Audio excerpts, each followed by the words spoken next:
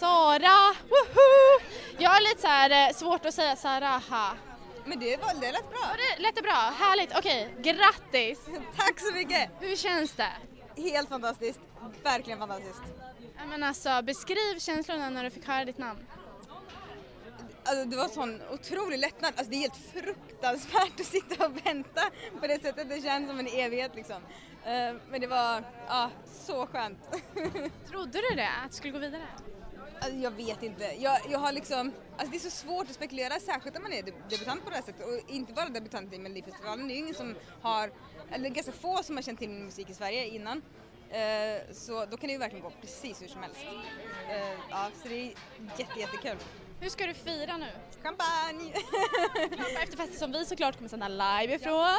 Har du någon stad här, någon pojkvän eller något sånt där? ja,